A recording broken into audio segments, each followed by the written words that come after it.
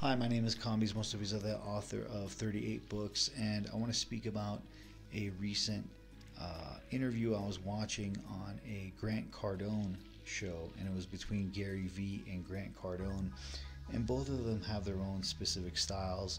You know, Gary Vee's very fast talking, and he likes to jump all over the place and uh, you know move from this topic to that topic and just kind of skimming across each one on a very you know bare bare level. And you know, Grant Cardone's more of a motivator. He's a he's a motivator guy. He's not very technical, but he's more motivator type. You know, and you know Gary Vee's a motivator too, but again, two completely uh, conflicting styles. Um, it was interesting to watch them, the chemistry between both of them. Uh, there was definitely tense moments, and you could feel Grant Cardone getting tense. Uh, you know, Gary Vee was just, you know, acting like a typical, you know, very like fast talking and and um, very like, you know,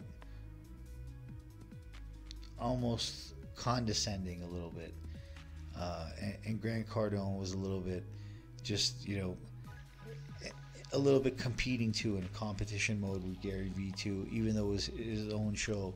So there was definite tense moments, and they were going back and forth, but it was it was in good nature and good fun, uh, and it was interesting to watch both of them because both of them definitely have something that they bring, or else they wouldn't have a following.